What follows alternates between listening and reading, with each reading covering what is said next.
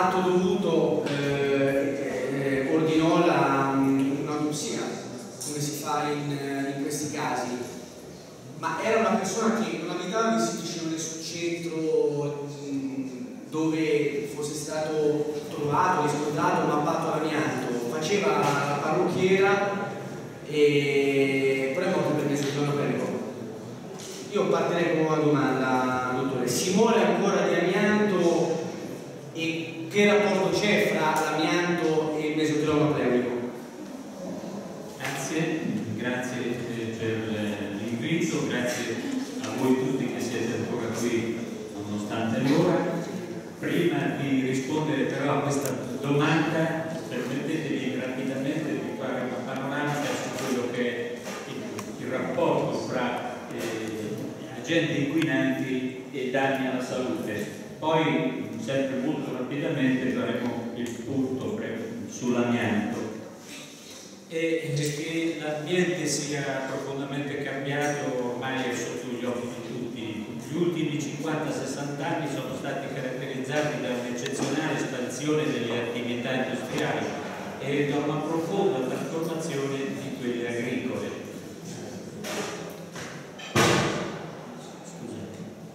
E la, inoltre la progressiva globalizzazione ha poi portato ad un modello di sviluppo basato su cicli di vita sempre più brevi dei manufatti, con un conseguente inesorabile crescita sia del fabbisogno di energia, ma anche delle materie prime, che hanno portato a una produzione di, di scarti e di rifiuti.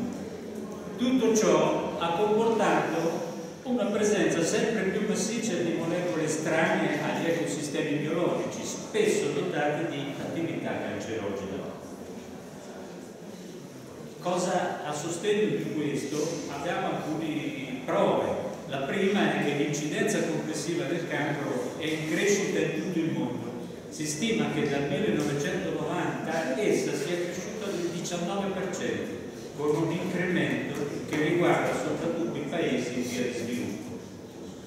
A questa prima affermazione si può fare subito una, una contestazione, ma certo che il cancro è aumentato, è aumentato tanto l'età media, è vero, perché il, la, il cancro come altre malattie degenerative è tipica dell'invecchiamento, dell'età avanzata, però gli studi su, che, che dimostrano sull'incidenza dimostrano che i tassi standardizzati per età, cioè l'incidenza depurata dal fattore invecchiamento, negli ultimi vent'anni sono complessivamente in in tutta Europa. Qui l'Europa perché si ma vale per tutti i paesi industrializzati. In Italia l'incidenza dei tumori nel loro complesso è cresciuta sia tra gli uomini che tra le donne. Una prova abbastanza significativa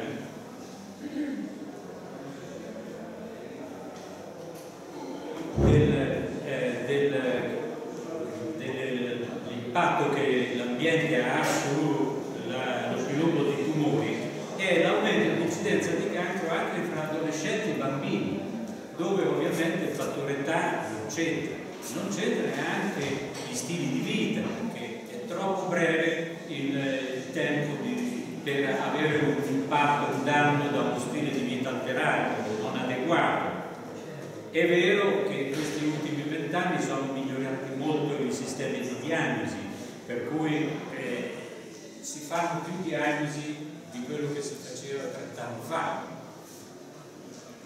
Però questo è un, è un evento che ha un peso notevole. In Italia, infatti, nel periodo che va dal 1988 nell'età che va da 0 a 14 anni si è registrato un aumento medio anno di incidenza per tutti i tumori del 2% di questa fascia di età, che oltretutto è anche nettamente superiore a quello che è la media europea che è del 1,1%. Nei primi 12 mesi di vita l'incidenza annua è addirittura del 3,2%. Questo dimostra anche che questi agenti ambientali agiscono anche durante la gestazione. Per cui noi possiamo fare questa eh, affermazione. L'inquinamento ambientale connesso con le attività umane aumenta il rischio.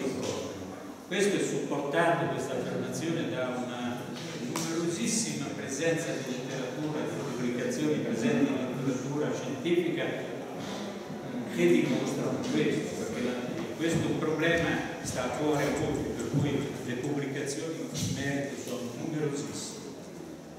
Vi porto solo il risultato presentato dall'Organizzazione Mondiale della Sanità a un recentissimo convegno tenuto a Ginevra il 26 maggio scorso, che era, era l'Assemblea Mondiale della Sanità e l'Organizzazione Mondiale della Sanità porta questi dati ogni anno 3,7 milioni di persone muoiono per l'inquinamento atmosferico, altri 4,3 milioni di morti sono causati dall'esposizione ad inquinanti interni alle abitazioni e ai luoghi di lavoro.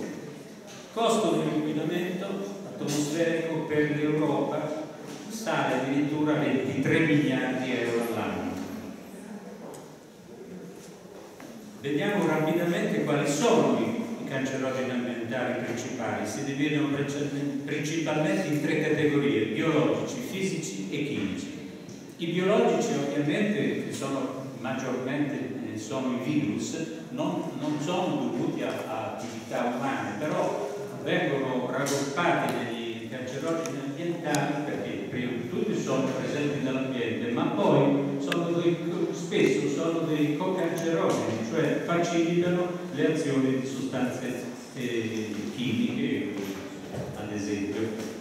I casi più eclatanti sono il virus dell'Epstein-Barr virus, che è un banale virus della mononucleosi, ma in alcune aree eh, dell'Africa e dell'Asia sud-orientale è endemico e produce dei tumori del naso faringe dei linfomi.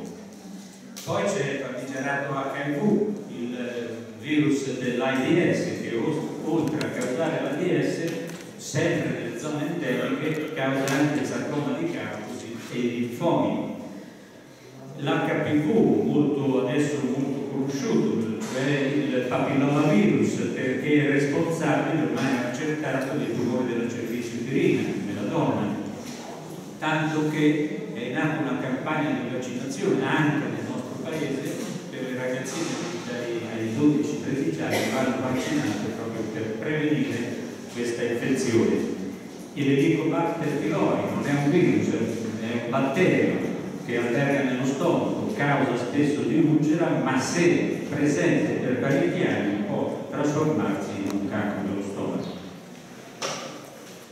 Gli agenti fisici, in primis le radiazioni, le radiazioni sia per eh, discariche abusive, e, ma sia anche per incidenti nucleari come quelli di Chernobyl e qui parliamo di sostanze eh, radioattive tipo il cesio, tipo lo iodio 131 permangono nell'ambiente anche per 30 anni alcune hanno un tempo di dimezzamento lunghissimo ma anche dal sole, dagli raggi ultravioletti vengono danni perché per la pelle che se non ben gestiti come esposizione al sole, pelle si intende i epiteliomi ma soprattutto il molto più grave melanoma.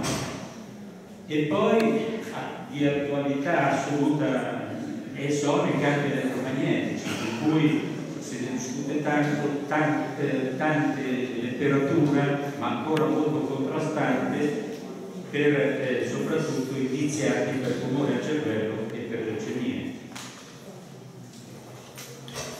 E veniamo agli agenti chimici, quelli ovviamente più numerosi, e qui parliamo del particolato fine, cioè del delle famigerate polveri sottili, PM10 e PM2,5, che eh, sono particolarmente presenti nei nostri centri abitati. E in riferimento alla, alla riunione, all'assemblea di Ginevra, eh, l'Organizzazione Mondiale della Sanità ha proprio fatto una risoluzione per, per tutti i governi che si impegnino rapidamente ad abbassare l'inquinamento atmosferico agendo soprattutto su due obiettivi, le centrali termoelettriche a carbone e i motori diesel, che dopo tanti anni che ce l'hanno fatti comprare, sono accorti che sono il maggior produttore del particolato fino.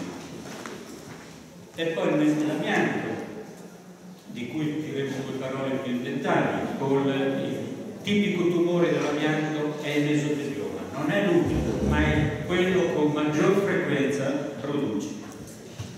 I coloranti azoici, cioè il, per la vescica, il benzene e i derivati per le gemine fonico, i metalli, cromo, piombo, mercurio per polmone, vescica, nasofaringe, le diossine, linfomi, polmoni, pesticidi, il cloruro di vinile per tanti anni per, per, alla base delle plastiche, per i tumori al fegato.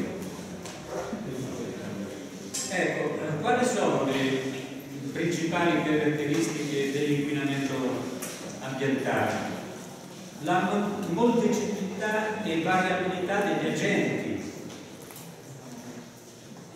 Nell'ambiente si presentano tante sostanze differenti che possono fra di loro avere un'interazione, una sinergia e sono anche agenti di diversa natura.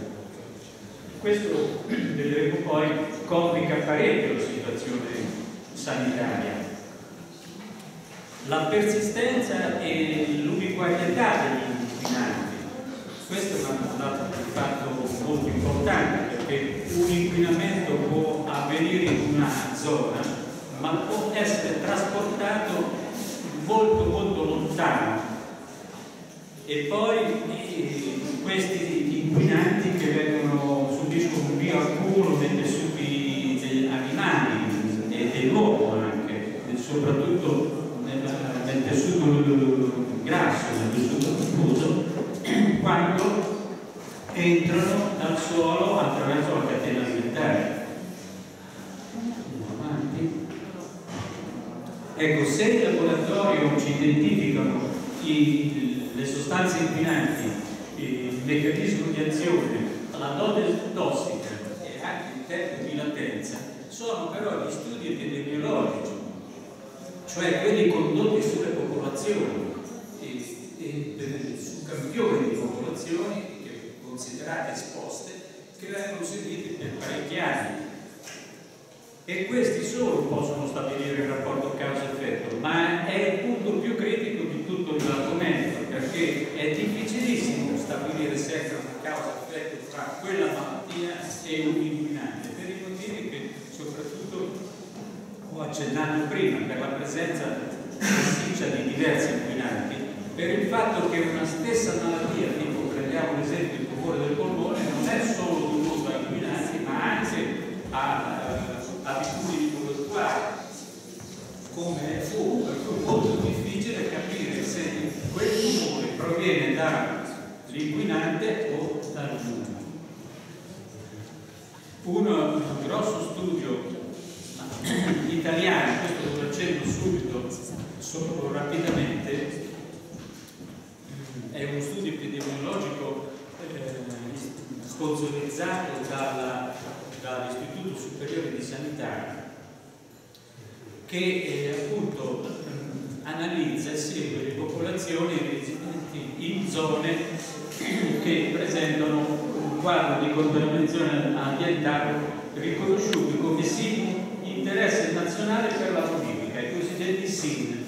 Questo penso che abbiamo qui il rappresentante del WWF ne sappia molto più di me. Però anche questo studio, che viene considerato dall'Unione Europea come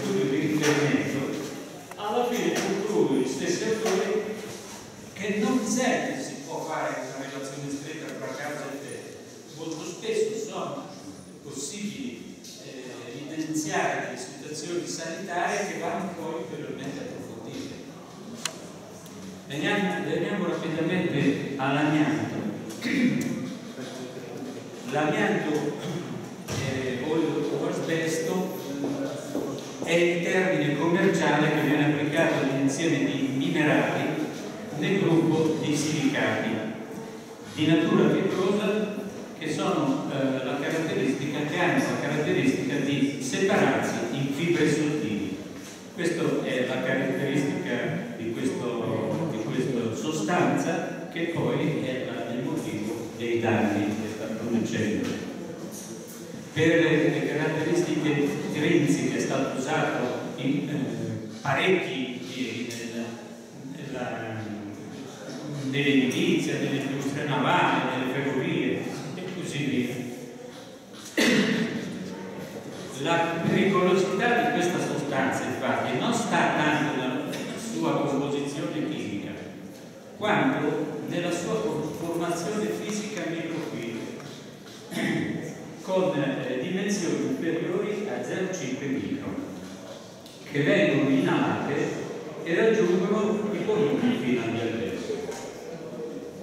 è un killer silenzioso e, miete circa 3.000 vittime ogni anno nel nostro paese che muoiono prevalentemente per il monotorioma qui poi risponderò meglio alla domanda del, del moderatore.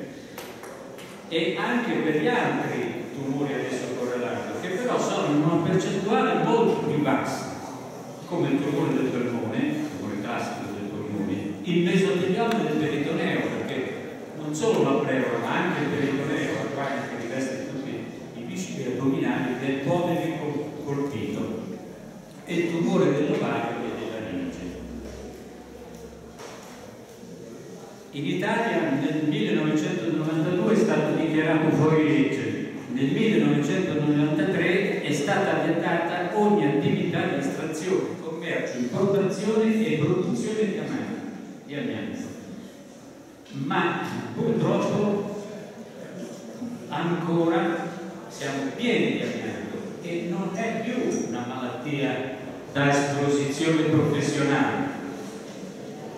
Il caso riferito dal moderatore è l'esempio, ma è ormai una malattia da inquinamento ambientale perché i manufatti che sono stati fatti tanti anni fa, vanno incontro a un eh, deterioramento e le fibre eh, fuoriescono e vengono sparpagliate in tutto l'ambiente. Dove c'è un rapporto con l'occupazione causa-effetto, un rapporto semplice trovare, ma per esempio muoiono anche le mogli degli esposti perché accudivano alle, alle tute del lavoro. Però a volte la, la, la sorgente di amanco è invisibile perché pieno, sono pieni i nostri edifici, le nostre case, sia private che edifici pubblici, ancora. Questo lo sapete meglio di me, ma devono essere bonificati ancora 35.500 passassiti. 1957 sono quindi già bonificati 571 sono quelli parzialmente bonificati. Questi sono i dati del novembre 2014, di cui abbastanza recente, eh, rilasciati dal Ministero della Sanità. Ah, se è stato previsto per la quantità di, di, di amianto ancora presente che eh, sono richiesti ancora circa 85 anni per completare lo smaltimento. Per concludere, una domanda che penso venga spontanea a tutti, ma allora, se l'efficacia della prevenzione primaria, così tanto decantata e pubblicizzata, per esempio, per abbattere il tumore eh, del polmone dovuto al fumo, ormai era troppo detto e dove eh, smettere di fumare vuol dire abbattere questo tipo di tumore. Ma allora perché non viene applicata impegnato lo stesso criterio e col medesimo impegno nel ridurre drasticamente i tanti agenti cancerogeni noti presenti nel nostro ambito, basterebbe almeno più, più certi. A questa domanda ho, ho trovato una frase di Deborah Davis, che è una famosa epidemiologa statunitense che ha lavorato più di 40 anni occupandosi proprio di inquinamento ambientale e danni alla salute. E lei dice, ogni qualvolta si solleva una questione di salute pubblica che ha ripercussioni per miliardi di dollari sulle grandi industrie, l'onere della prova imposto a chi esamina i rischi può diventare tanto elevato da risultare insostenibile. Vi ringrazio molto per l'attenzione.